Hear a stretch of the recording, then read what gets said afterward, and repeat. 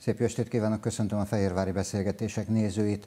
Mai vendégem Búrján Gabriella, hegedűművész, az Alba Szimfonikus Zenekar szólamvezetője. Szervusz Gabi, örülök, hogy itt Szervusz. vagy velünk. Nagyon sok mindenről beszél, kell, hogy beszéljünk. Előjáróban talán egy idézet Anne Rice-tól, ő azt mondta, hogy a hegedű a maga nyelvén dalol, és hamis lesz tőle minden beszéd. Ennek ellenére mi beszélgetni fogunk. De mielőtt erre sort kerítenénk, most egy rövid bejátszás következik.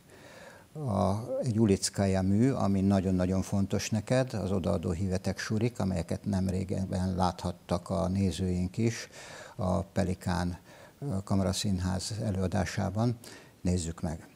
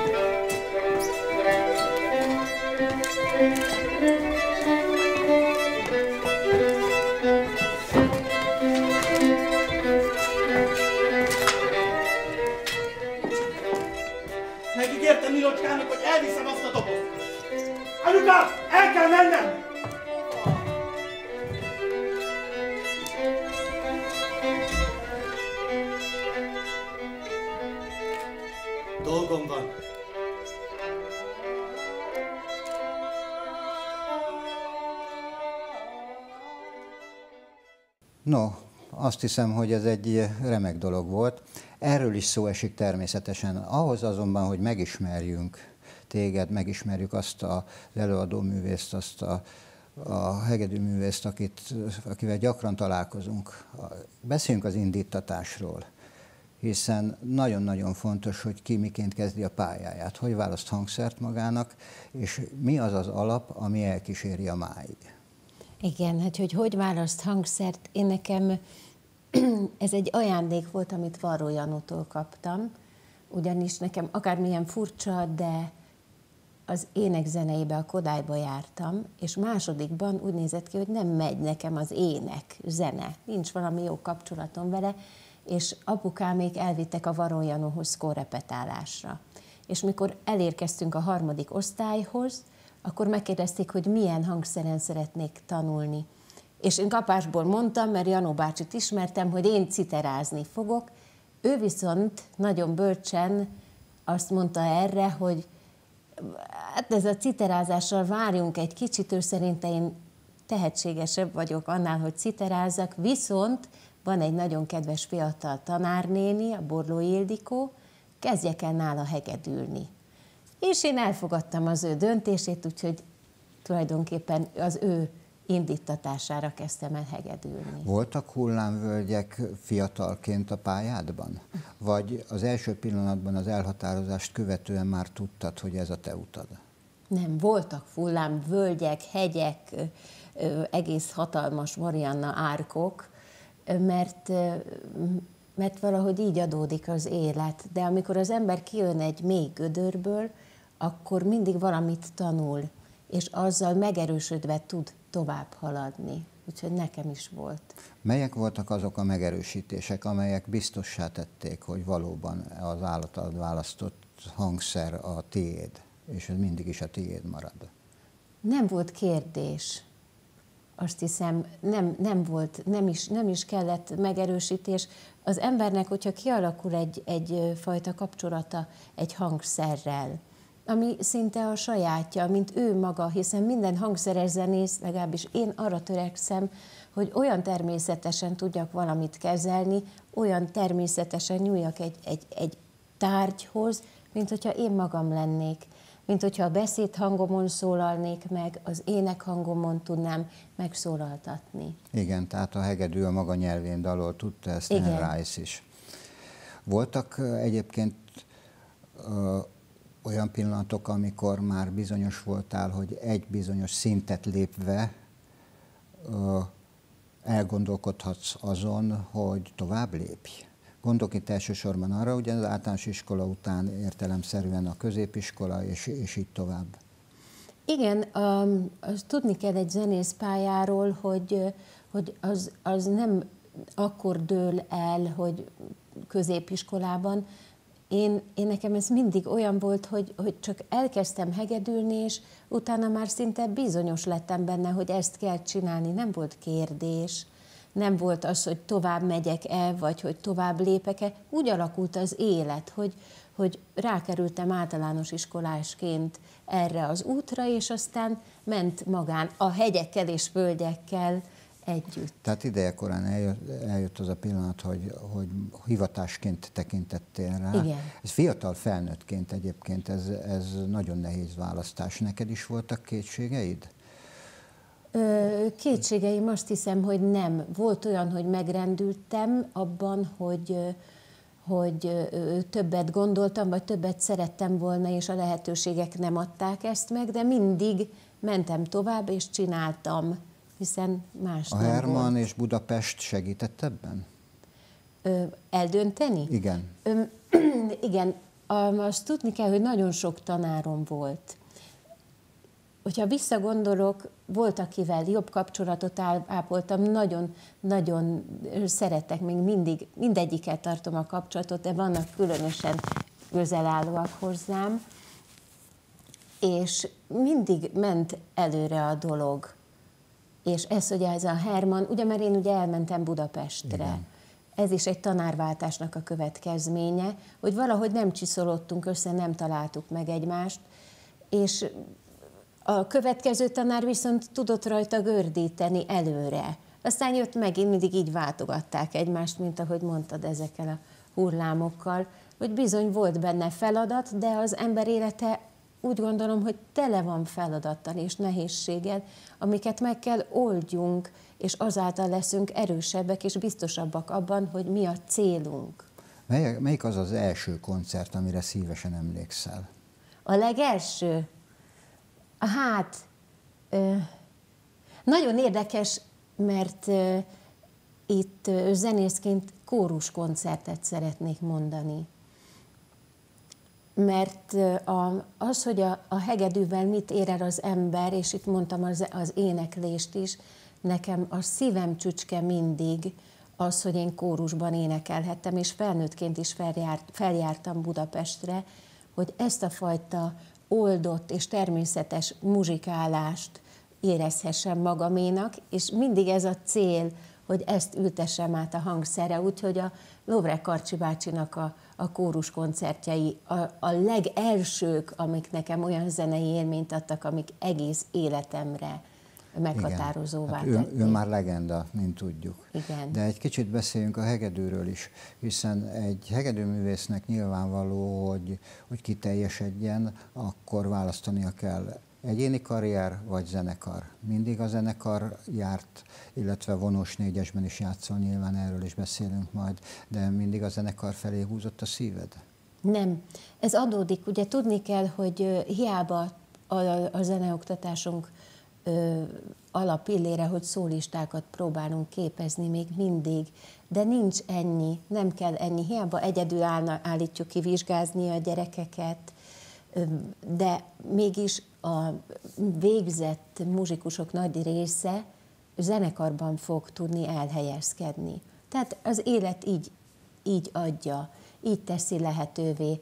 Nyilván mindenki nek van egy szólista karrier álma, meg vágya, így megyünk neki. mindannyian, hogy eljussunk az akadémiára, ott végezzünk, és majd, majd fogunk koncertezni, és utána ott van még mellette az a rengeteg gazdagság, amit mondtál, a vonós négyes, a kamarázás, hogy egy zenekarban hogy lehet és hogy kell jelen lenni, az egy fontos, nagyon fontos ö, tudás és művészet szintén, és nem elhanyagolható dolog. Ez, ez egy összetett, összetett Az Alba Régia Szimfonikus Zenekar természetes választás volt számodra? Hát annyiban természetes, hogy igen, mert itt élek, itt lakom, tehát magától értetődő volt, hogy még mielőtt én is próbajátékkal kerültem idebe, mint ahogy most a tagoknak a, a, a zöme, a zöme, nem, hát nem is a zöme, azt kell mondjam, hogy mindenki, aki most játszik, próbajátékkal került be, és szerződése van, de amikor elvégeztem a főiskolát, akkor én akkor költöztem haza Budapestről, és elkezdtem játszani a szimfonikus zenekarban, akkor még Drahos Béla hívott, először csak kisegíteni, és utána kvázi állandó tagként, de hát ezt mindenki tudta, hogy jogilag nem voltunk úgy állandóak, csak voltak, akik állandóan jöttek, Jaj. és voltak azok, akik kisegíteni jöttek. És aztán, és aztán utána most kell a, a színházra terelni a szót, hogy én jártam a Székesfehérvári Vörösmarty Színháznak a színi iskolájába is, ebben az időben, sőt a Pécsi Egyetemen zeneterapeuta szakra is. Úgyhogy ezt csináltam együtt, a zenekarozást és ezt a két iskolát.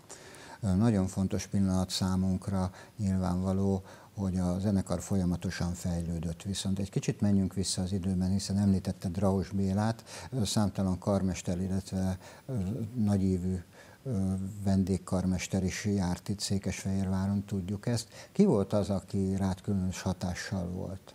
Nyilván más egy zenekaron belül egy vendéggel dolgozni, de nyilván arra egy csomó nevet tudnék említeni, akire az ember felkapja a fejét. Tehát csak az utolsó időszakokat nézzük, akkor a Rencettitől János Ács, Medvecki Ádám, nem sorolom.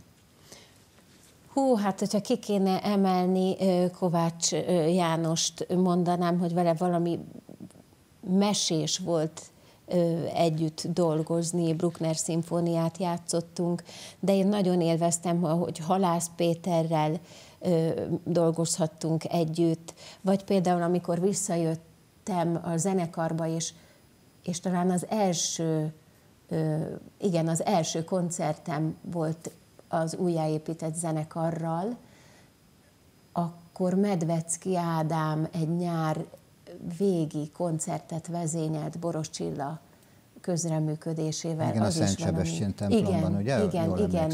Az, az gyönyörű volt, az nagyon nagy élmény. Beszéljünk a zeneszerzőkről. Van-e egy hegedűművésznek kedvence, amihez szívesen nyúl hozzá, amit szívesen ad elő? Van egy olyan kor, illetve stílus, ami a kedvedre való? Ó, hát kor külön, meg stílus.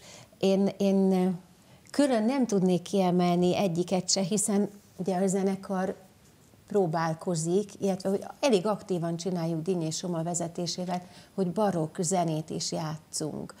És ezek mindig azért jók, mert rengeteget tanulunk. Ugye most már sok tudásunk van arról, írásos emlékek nyomán is, hogy akkor ezeket a barokk műveket hogy játszhatták. Nem csak, hogy milyen hangszerekkel, korhű hangszerekről van most már egyre pontosabb leírás és tudás, hanem, hanem hogy ezeket hogy improvizáltak, a zenében hogyan gondolták, értelmezzük, és értelmezzük újra, nem egy, egy romantikus előadásmódban, hanem egyre inkább korhűen próbáljuk meg ezeket a darabokat játszani. Fantasztikusak, a közönség is nagyon szereti őket, de ott van a megunhatatlan romantika, ami mindig emberről szól, emberhez szól, és a 20. századi és már 21. századi zenék között is vannak olyan olyan varázslatosak és megragadóak, hogy, hogy a közönség is nagyon sokszor úgy érzem, hogy nem számított volna arra, hogy, hogy ez tényleg tényleg ilyen. Igen, hát valóban ámulatba ejtő, és ámulatba ejtő az is, ahogy ezt elmondtad, mosolygós szemmel. Viszont folyamatosan lépdettél felfelé a lépcsőn, azon a bizonyos grádicson. Én azt gondolom, hogy szólamvezetőnek lenni egy immáron, ahogy tetszik, önálló, mért zenekarban, az egy komoly dolog. Mennyi változást hoz egyébként esztendőről esztendőre a szintváltás bizonyos értelemben? Hiszen egyrészt a tagok is cserélődtek, a művészeti vezetős is folyamatosan cserélődik, másrészt nyilván sokkal több koncert vár rátok, és ez bizonyos értelemben teljes embert kíván ma már. Igen, abszolút. Egy picit még visszatérnék arra, hogy szólamvezetőnek lenni milyen nagy, nagy megtisztelő feladat itt kérdezted, hogy ez a szólista, meg zenekari tagság, tulajdonképpen, hogyha valaki egy, ott van egy szólam élén, ez azt jelenti, hogy abba a játékba kell a többieknek beletagozódni, akik ott vannak mögötte. Tehát megy, mint egy ilyen vezér valaki, és a többieknek ebbe kell beleilleszkedni. Ez egy fantasztikus lehetőség, én, én hatalmas kihívásnak és szakmai fejlődési lehetőségnek élem meg azt, hogy, hogy vezethetek egy szólamot, hiszen mindig felkészülten kell menni a, az embernek a technikai dolgait, megvalósítását, a hangszer gyakorlatát is állandóan karban kell tartani, hogy, hogy ott, ott tudja azt, a, azt teljesíteni, amit, am, hogy a többiek tudják követni. Keresünk még kapcsolódási pontokat. Vonós négyes. Egy teljesen más műfaj, négy fantasztikus vonós alkotja, most nem sorolom fel őket, hiszen azért folyamatosan fellépték, jártátok az országot, nagyon sok helyen léptetek fel nagy sikerrel. Mi a különlegessége egy vonós négyesnek? A vonós négyes, igen, ez is egy kapcsolódási lehetőség. Tehát a vonós négyesben ugye minden egyes hangszerből egy Nem. van. Tehát én akárkiben ül, szinte szólista, de mégis egy olyan kamaramuzsika, hogy az együtt a másikra figyelve, önmagunkból összeadva alkot egy egészet. Egy egész, az is egy varázslatos ö, dolog, hogy, hogy négy zenész hogy tud egy kerek egészet együtt alkotni. És, és a, bocsánat, hogy beleszólok, hogy nem kisebb, mint azon a célral indult el a vonós négyesezés, hogy pont a zenekari szólisták, mert hogy a szólamvezetőket általában vannak olyan országok is, ahol szólistáknak hívják, ők tud, tanuljanak meg és gyakorolják ezt az együttjátékot, ami tulajdonképpen a zenekarban működik. Tehát én ugyanúgy figyelek az első hegedűsre, a csellistára, a brácsista szólamvezetőkre, mint amikor egy vonós négyesben ülünk benne. Tehát ez egy óriási lépcső. Igen. Mint ahogy nagy lépcső, és ráadásul állandóságot képvisel az életedben a színház. Megérkeztünk a színházba. Hát, mint színházjáró ember, nagy örömmel fedezem fel azokat a, a darabokat, amelyeket zeneszerzőként jegyzel, másrészt pedig magad is szerepelsz benne, sőt, ugye most nem árulunk el titkot, hogy az állatkerti történetben a lányod Sára is ott lesz, Varró Janóval, akit említettünk, és Kozári Feri rendezésében Keszek Barbara, ez egy csoda történet, mint ahogy a Kalandok Zenebóniában, az odaadó hívetek Surik, amiből láttunk itt egy részletet az Ulickaja darabból. Hogy jött a színház? Ugye beszéltünk róla, hogy végeztél, tehát értesz a színházhoz is, viszont honnét jön a gondolat egy-egy darab megteremtéséhez? Hisz vegyük sorba. A Kalandok Zenebóniában az egy nagy élmény volt nekem. Az egy korai darab, de nagy élmény. Igen, ebbe hál' Istennek is csak úgy belecseppentem. Azt tudni kell, hogy itt a, a színházban, a színi iskolában Feri tanított engem, és innen van egy eleve egy ismertség és egy kapcsolat. Ott egyébként azt nem fejeztem be, nem végeztem el, mert közben megkérték a kezemet, a férjem is, jöttek a gyerekek is, meg volt egy kis moszkvai kitérőnk, de, de valamennyit azért konyítok a színházhoz, ami mindig is nagy szerelem volt már gyerekkorom óta, és jelen van nem csak az én, de a hugom életében is ez a kapcsolat. mert nagyon sokat jártunk színházba, nagyon sokat. A nagypapánk rendőrségen dolgozott, és minden előadáshoz ott volt egy, egy felügyelő a tűzoltóságtól, a rendőrségtől. És mi már akkor gyerekként a művészbejáron mentünk be a színházba, ott jöttünk, mentünk a színészek között, néztük a díszleteket, és azt hiszem, hogy ez annyira megfogott minket akkor, hogy, hogy ez, ez, egy, ez egy ilyen örök szerelem maradt az életünkben. No, odaadó hívetek surik. Ez egy eh, zseniális ulickája darab. Én azt gondolom, Kerkai Rita rendezésében egyéb iránt. Eh, honnét jön a gondolat, hogy lehet kiegészíteni ezt az ulickája darabot oly módon, hogy a zene is fajsúlyos szerepet kapjon? Ez, ez, hogy a Ritával együtt dolgozhatok, nekem ez egy nagyon nagy boldogság, hiszen ö, mi készültünk arra, hogy dolgozzunk együtt. És ez mondhatni véletlen vagy nem véletlen, de ő meglátott engem az állatkerti történetbe, és akkor eszébe jutott, hogy ki más, hanem én fogom a zenei részét ennek megvalósítani. Hát, hogy, hogy, hogy ez, ez hogy alakult, ez egy fantasztikus dolog, amikor az ember része lehet egy folyamatnak, egy alkotási folyamatnak. Beültem én is a próbákra, amikor csak tudtam, ott voltam, és azon járt a fejem, hogy ezt zeneileg hogy lehetne megtámogatni.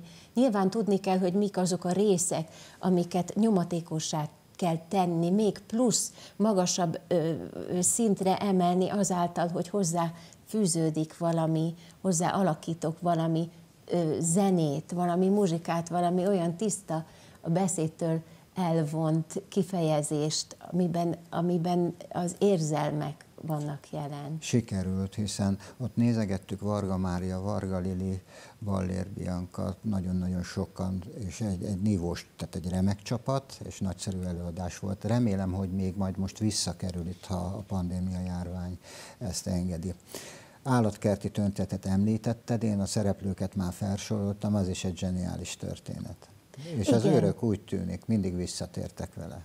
Igen, igen, hát ez már nem is tudom, hogy hányadik előadás, amit Ferivel, Kozári Ferivel együtt csinálunk gyerekeknek kifejezetten, mi egy interaktív előadás mindig, és nagyon próbálunk arra figyelni, hogy minőségében, mind zeneileg, mind beszédben, megvalósításban, kifejezésben lekössük és megmozgassuk őket. Nagyon fontos témákról is szólnak ezek az előadások. Az előző évben is nagyon fontos volt a környezetvédelem benne volt, a természettel való kapcsolat, az állatoknak itt is az ismerete és a szeretete, rengeteg módon meg lehet fogni a gyerekeket, és nagyon aktívak, és rengeteg mindent tudnak. Beszéljünk egy pár szót a családról is, hiszen édesapád Búrján Zsigmond, Orsiról már beszéltünk, aki egy remek énekes, és ugye volt ő is a vendégünk. A Sára lányod már ott van, toporog a színpad küszöbén. Egyébként milyen egy ilyen művész családban édesanyának lenni? Fantasztikus. Fantasztikus. Én eleve, eleve ö, csodálom a gyerekeimet, amikor, amikor van időm, és azért akárhogy is csinálunk ennyi mindent, csinálok ennyi mindent, de a, a legfontosabb még mindig az, hogy őket, hiszen hárman vannak, őket elindítsuk megfelelőképpen az életben, és ellássuk olyan kis motyókkal, amikből aztán életük végéig jól tudnak táplálkozni.